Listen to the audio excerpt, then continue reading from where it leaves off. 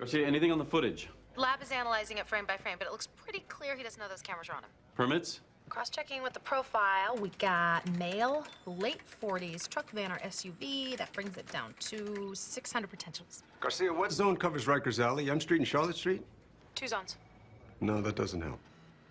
Well, come on, I'm the high priestess of all things digital, but I'm not a god. What permit covers all zones? Only one, disabled. This guy isn't disabled. Maybe he knows someone who is. Kid on a BMX dropped this off the monitor half hour ago. Said a bum gave him 20 bucks. Well, at least it didn't make the news. Buys us some time, right? Until he finds another way to contact the media.